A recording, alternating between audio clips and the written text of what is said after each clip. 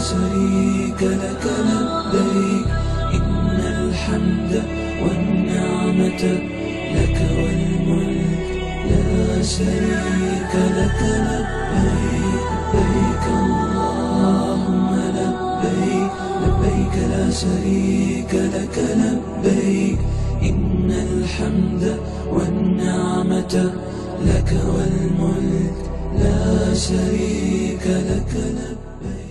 بسم الله الرحمن الرحيم. الحمد لله رب العالمين والعاقبة للمتقين ولا عدوان إلا على الظالمين. وصلى الله وسلم على سيدنا محمد وعلى آله وصحبه والتابعين لهم بإحسان إلى يوم الدين. وسلم تسليما كثيرا. أما بعد tuko katika kuelezea masala ya haji. Tulielezea katika fakra iliyotangulia kipindi kilotangulia ufaradhi wa hija na hatari kwa mwenye uwezo wa kuhiji kutohiji. Hii faradhi ya hija ni watu gani ambao kwamba wao wafaradhiwa kwenda kuhiji au kwa lugha fupi ni nani ambaye kwamba yamlazimu hija? Hija baada ya kuwa ni faradhi lakini haimlazimu ila muislamu alobalighi. Tukizungumza muislamu maana yoyote ambaye kwamba si muislamu hajawahi kusilimu. Hatumwambii kwamba wewe lazima uende ukahiji. Lao mtu amekuja si muislamu yakuulizia bwana mimi nataka kusilimu. Nikisilimu na mimi ni tajiri nina mambo gani yatanilazimu? Mwambie mwanzo wewe walazimiwa kusilimu. Hivi sasa hakuna jambo litakulazimu mpaka usilimu. Silimu ukisha kusilimu utakuelezea ndani ya uislamu kuna mambo gani ya kulazimu. Ni makosa wewe kumwambia bwana. Kuna kuhiji kuna kufunga kuna kutoa zaka utamfukuza. Lakini mwambie la hija hufaradhiwa wale ambao kwamba wao ni waislamu. Kama wewe hija haikulazimu ngoja mpaka aingie ndani ya uislamu. Kwa hiyo hija kitu cha kwanza lazima e, jambo la kwanza la, la kuwa mpaka wewe ikulazimu kwenda kuhiji mwanzo uwe ni mwislamu kama si mwislamu si lazima kwenda kuhiji. Je lau ukahiji na wewe si mwislamu haitosihi hija yako. Haitotakabaliwa hija yako. Lazima uwe ni mwislamu kitu cha pili uwe umebalighi. Nini kubalighi? Kubalighi yani ni kufika miaka kumi na tano kwa mwanamume kutokwa kwa manii au kuota kwa lugha nyingine kwa mwanamume na kutokwa na hedhi kwa mwanamke. Mwanamke aweza kutokwa na hedhi ya kuanzia miaka tisa mpaka miaka kumi na tano. Ikiwa hajatokwa hedhi katika hii miaka hii huyu mwanamke akifika miaka kumi na tano na yeye moja kwa moja yua ameshabalighi. Na hii miaka haizingatiwi ya kina 2018 haa. miaka ni ya kamaria. Ni miaka ya mwezi wa kuandama. Kwa sababu miezi hii ya kizungu kila miaka kumi na tano kwa miezi ya kizungu wewe kiarabu huwa una miaka kumi na tano na miezi sita. Kwa maana ukifikisha miaka thalathini ya miezi ya kiarabu kizungu una miaka 31 ukimsikia mtu akwambia mimi nina miaka 31 kizungu kiarabu ana miaka 30 tu. Kwa hiyo miaka ya kizungu haihesabiwi haina hisabu katika sharia. Kabisa miaka inayohesabiwa ni mwaka wa mwezi kuandama na mwezi usiandame. Kwa hiyo mwana, mwanamume na mwanamke wakifika miaka 15 hata kama hawajaota wakiwa na uwezo wakiwa ni waislamu nao wamebalighi tutangojea sharti ya tatu nao ni kuwa na uwezo. Uislamu kubalighi. Kadhalika huyu alobalighi si abalighi tu awe na akili. Kwa maana asoku, asobalighi mtoto mdogo asokuwa na akili mwandaazimu hawa hija haiwalazimu Muislamu ni asokuwa Muislamu haimlazimu alobalighi ni mtoto mdogo Mwenye akili lazima baada ya kuwa yeye ni Muislamu amebalighi awe na akili. Ikiwa akili zake ni punguani, na hawa akili punguani, kuna watu aina mbili. Kuna watu throughout wao hawana akili, huyu moja kwa moja, huyu swala, swaumu, e, hija haimlazimu, hubaki sasa hana akili lakini ana pesa. Kwenye zaka tutamwambia, kwa sababu zaka hatukuangalia wewe uko vipi, tuangalia wewe umemiliki nini. Lakini hija lazima wewe uwe na akili. Kama huna akili, huna hija. Mwingine, kuna watu wana akili zao ni za season, jua likiwa kali akili zao huwa kali Yaani jua likiwa kali, yani kuna season mashallah, ukimwona ah, hakuna mtu makini na mtulivu kama yeye, lakini kuna siku zikibadilika ile hali ya wedha, na yeye hubadilika akili yake. Sasa ikiwa katika wakati yeye ni wakati wa kufika musimu wa haji, akili hana, twamwambia wewe huyafaradhiwa hija. Ikiwa wakati wa haji akili iko na lile ambalo kwamba la mwisho tutalielezea uwezo huko, tutamwambia faradhi ya hija anayo. Kwa hiyo ni kama wakati wa Ramadhani, ikifika wakati wa Ramadhani hana akili, tutamwambia huna saumu. Ikifika wakati wa Ramadhani anayo akili, tutamwambia unayo saumu. Na hija ni namna hiyo hiyo. Kadhalika katika ambao kwamba wao hu, sharuti ambazo kwamba za kukulazimu hija ni alistitaa, uwezo na tumeelezea kule nyuma, uwezo ni aina mbili, uwezo wa kimali. Tukizungumza uwezo wa kimali, ni lazima yale mali yawe ni milki yako. Sisi tuko katika ulazima, maana lazima ni lazima wende. Je, mtu akakupa mali, rafiki yako, mimi niko tayari kukus, kukusponsa wende hija itakuwa kwako imekuwa ni lazima wende? La, haiwi ni lazima.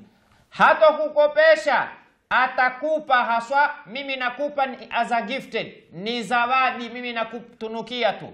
Bosi kazini akwambia mfanyikazi wangu, ingawa ni nadira kuwapata mabosi hao wako, hatuneni hakuna, lakini ni nadira kwamba kila mwaka bosi wapeleka mfanyikazi mmoja pale kazini. Mwenyezi Mungu awazidisha mabosi kama hao wakithiri, Mwenyezi Mungu awabarikie.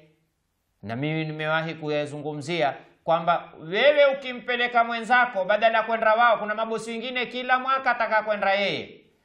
Jua mtu akienda akiwa ameshafanya hija yake ya faradhi, ukenda tena hija, any mistake ukiifanya ni yako wewe, itakukosti wewe ulokwenda hija ya sunna kufanya itakukosti. Lakini ukiwa wewe hutokwenda, utampeleka mwenzako, hata akifanya mistake yule mwenzako, wewe utapata malipo 100%. Mistake ni yake, lakini wewe mistake haikupati. Wewe utapata thawabu kuwa umempeleka yeye hija, na wewe utapata thawabu ya kuwa ya, ya kuwa umeandikiwa na wewe mwenyewe umehiji.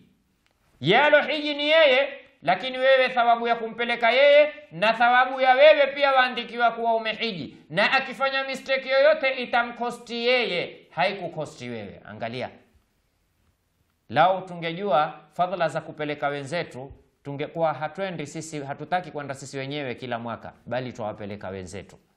Kwa hiyo, je, suala tumesimama hapa ni lazima tajiri ametaka kukupeleka, tutashakwambia bwana, hija wewe ishakulazimu. Kwa sababu gani? Umpata sponsor. Haijani lazimu kwa sababu mimi haini lazimu ku, kupokea, yani ruhusu, nimeruhusiwa kisharia. Nikitaka nikupokea ile sponsor, kuikubali ile sponsor, nafaa kukubali, nafaa kukubali. Na ni kwa nini sharia isinilazimishe ikanambia lazima upokee? Kwa sababu sharia haipendi alman kutoleana matusi. Keshole isije tena bosi akakwambia huna fadhila wewe, hija nilokupeleka ni nani? Ni mimi. Haa, usitukanwe kwa hilo. Na utaona, angalia sharia kwenye kwenye kuswali, uliambiwa kiwa hakuna maji, mtu akakwambia njoo, mimi nitakupa maji utawadhie. waweza kuyakubali na waweza kumwambia la, wache mimi nitayamamu, madamu maji ni yako wewe, yatoe yaseme, haya maji nimeyatoa sadaka kwa atakaye kutawadha, hapo halasi, si yako tena. Kadhalika wewe sema, hizi pesa mimi nimezitoa, nimeziwekea nadhiri kumpa ambaye kwamba hajenda e, kuhiji, hapo takuwa si zako tena, lakini wampa tu kama zawadi, haimlazimu yule mwenye kupewa kupokea. Je, kwenda kuchukua deni hailazimu. Lakini lau mtu akasema mimi nitajikalifisha nende nkatukue deni, yafaa haifai? Itafaa, na akenda kuhiji itamwangushia ile hija yake. Mtu amekwambia bwana, bwana, ukitaka mi nitakupa deni, wenda ukahiji, nenda, ukipata utanilipa wakati wowote, na ukifa nimekusamehe fi dunia wal akhira. Ukitaka sawa, lakini si lazima kukubali kupewa deni. Ukitaka mwenyewe kwenda kutukua ni sawa, usipotaka hulazimishwi. Kwa hiyo hatutokwambia kwamba kuna mtu amekubali kukupa deni ishakuwa kwako wewe hija ni lazima. La, hija ni lazima ukiwa una uwezo wako wewe mwenyewe. Sasa mzazi mzazi ana hana uwezo, lakini mtoto wake ana uwezo, na lau akimwambia kwamba mimi mtoto wangu nataka unipeleke hija, mtoto atampeleka. Je, itamlazimu? Tutamwambia ishakulazimu?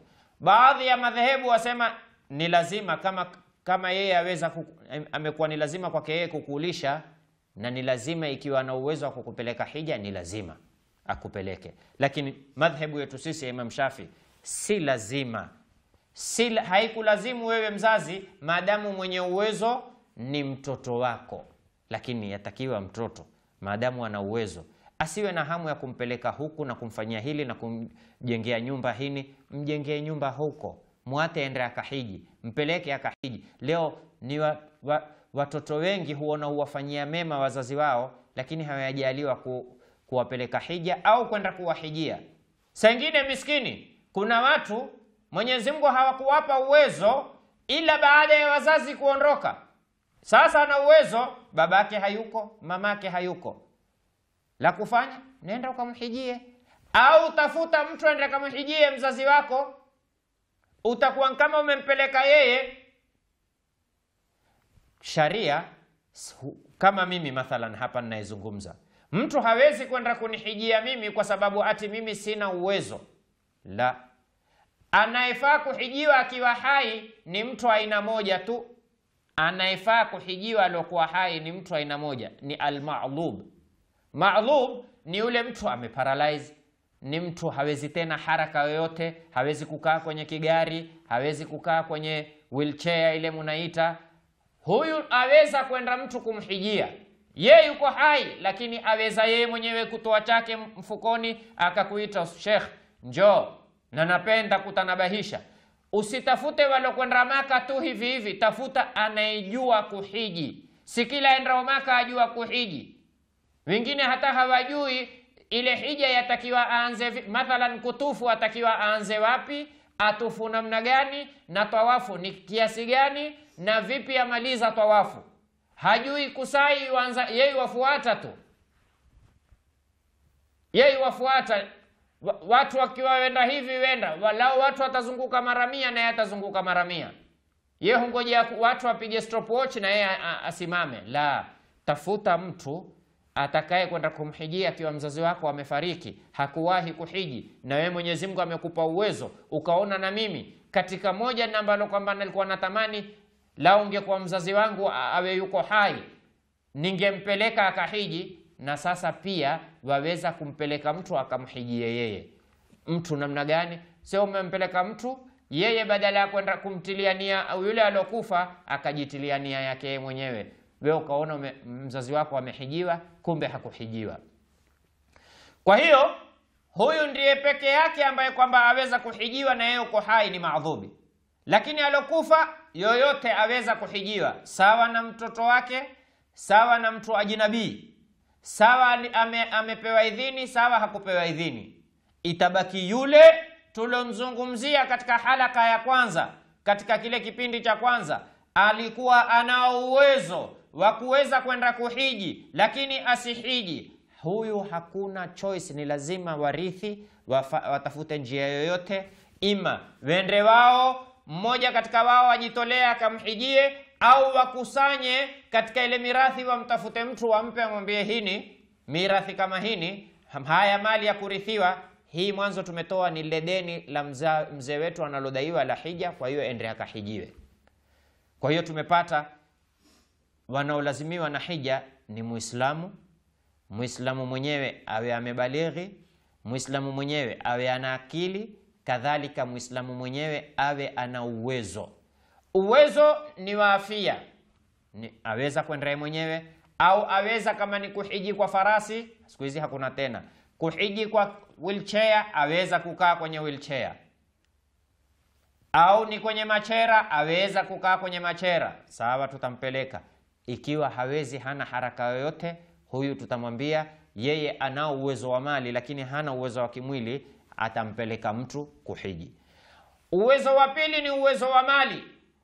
Wengi mashallah wanao afia na watamani, na mimi nikupe uhakika, wewe ambao una uwezo wa afia lakini huna uwezo wa mali, ukitamani kisawasawa, Mwenyezi Mungu atakuwafikia kwenda hija. sikuwa nacho kwenda hija ni kuwafikiwa na Mwenyezi Mungu Subhanahu wa Ta'ala, bal wenda uhija wengi ni maskini kuliko matajiri. Wenda uhija wengi ni maskini kuliko matajiri. Kwa hiyo wewe uliokuwa maskini usikate tamaa, kila ukikaa muombe Mwenyezi Mungu, ya Rabb kama ulivyowainulia waja wako hatua ukawaita wakaja huko, na mimi ni mja wako ya Rabbi, na mimi niita. Ukiwa mkweli katika kumuomba hili, kwa sababu huwezi kumuomba Mwenyezi Mungu ombi kama hili ila kuwa yeye atakakupe. Mwenyezi Mungu hawezi kukujalia wewe moyo wako ukawa saa zote wamuomba hija, na yeye kumbe alikuwa hakupanga kukupa, kukupeleka hija. Kwani wewe waweza kumwomba yeye kitu ikiwa yeye hataki umuombe? Labda wewe alikuwa hajui, kishtamaka ameona, na yeye ni ukafiri kusema mimi nimemwomba mwenyewe, Mwenyezi Mungu alikuwa hataki. La, hakuna aweza kuomba ombi lolote ila amri ishakuja kutoka kwa Allah jalla jalalu. Kwa hiyo wewe usikate tamaa kwa kuwa huona mfuko wako wewe mwenyewe walideni mtuzi qardha, hata chakula cha kukamilisha hukipati vizuri, kusema ah, mimi mbwa kufikiria hija. Sasa mimi kufikiria namna gani nitapata kula? Wewe unaniambia mimi niombe hija, mimi kuomba Mwenyezi Mungu angalau nsilale na ndaa. Muombe Mwenyezi Mungu, utaona miujiza yake subhanahu wa ta'ala. Kwa hiyo uwezo wa kipesa, uwezo wa kimwili na uwezo wa kipesa. Mtu anazo pesa lakini ana deni adaiwa, ana deni adaiwa. Mwenye deni akamwambia, bwana, ukitaka kwenda hija waweza kwenda, kisha utanilipa baadaye. Tunamwambia la, hija haija kulazimu, mlipe deni, kwa sababu katika sharuti za kwenda hija ni lazima uwe na uwezo wa gharama za kwenda hija. Tikiti ni ngapi? Laki tatu na nusu unazo. Pocket money ni ngapi? Yatakiwa laki moja unayo. Nyumbani kwahitajiwa mambo gani uyawape? Nyumbani kwatakiwa hii trip yangu mimi itatukua kama wiki tatu na nikiata elfu ishirini namna nne zitatosha. Unazo? Ah, nyumbani mimi sina, haija kulazimu. Mimi ninazo laki nne na nusu, laki tatu na nusu za safari, laki moja ni pocket money, lakini nadaiwa elfu ishirini ne ima mlipe elfu ishirini uende mwakani, au mtake radhi, mtake msamaha, mwambie bwana, wewe wanidai elfu ishirini na mimi pesa ninazo, lakini ndilo nazo zanitosha kwenda hija. Ikiwa utaniruhusu nende hija, nitakwenda inshallah. Nikirudi mwakani nitafanya nini? Nitakulipa. Ikiwa la waonelea nikulipe haki yako, mimi niko tayari kukulipa haki yako, nende mwakani. Hufai kwenda hija na wewe ikawa huku wadaiwa. Ni haramu kwenda hija na wewe una deni na hujamtaka msamaha yule anayekudai. Hakikisha kabla hujenda, kila anayekudai ima umewalipa ima umewataka msamaha. Hufai kwenda na huku una deni ya Muislamu mwendani wako. Ikiwa wewe una deni la Muislamu mwendani wako, sawa wewe ni Muislamu, sawa siwe ni Muislamu, yoyote aliyokukopesha na yeye akudai na wewe hukumtaka msamaha, ujue utapata madhambi, hutoruhusiwa kusafiri. Na hii safari ya hija, je, safari za kawaida? Wengi leo hutukua madeni wakajisafiria tu bila kujua uh, idhni au ridha. Idhni ya yule anayekudai au kuwa yuko radhi. Nini maana yuko radhi? Maana lao siku hiyo ukamwambia bwana nilikuwa nimeenda hija na sikukwambia na nilikuwa nina deni lako. Ah, hakuna neno wallahi. Ah, wewe dhiki deni langu lakini ah, wewe ukwenda maka una senti zangu mbona usinilipe?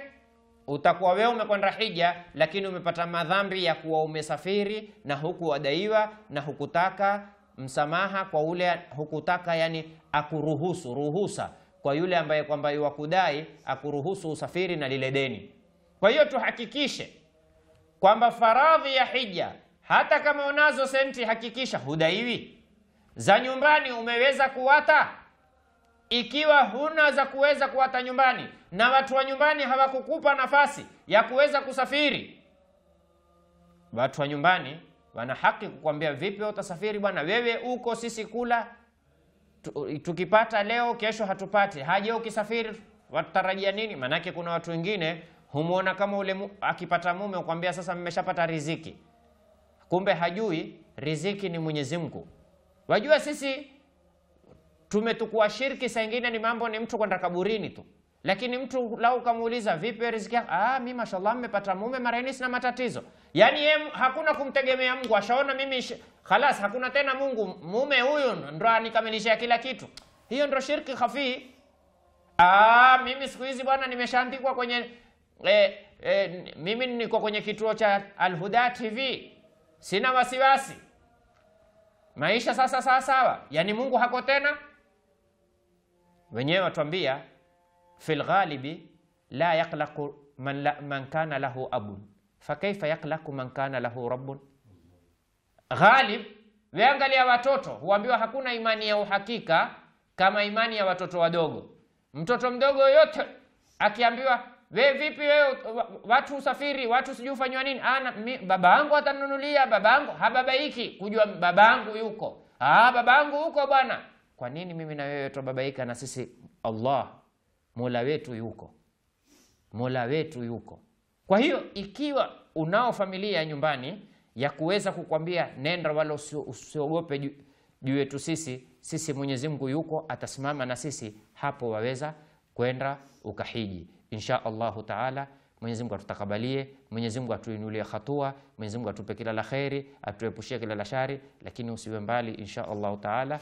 Tukirudi katika halaka ya tatu tutakuja kukuelezea namna gani waliokuwa nyuma waliweza kuwa na imani kamili ya kuweza kumwambia mzazi wao nenda hija na sisi mwenyezi mungu hatotu- hatotuata. Yule aliyokupeleka wewe hija hawezi kututupa sisi huku mwenyezi mungu atupe kila la kheri atuepushe kila la shari wassalamu alaikum warahmatullahi wabarakatuh لبيك اللهم لبيك لبيك لا شريك لك لبيك إن الحمد والنعمة لك والملك لا شريك لك لبيك لبيك اللهم لبيك لا شريك لك لبيك إن الحمد والنعمة لك والملك لا شريك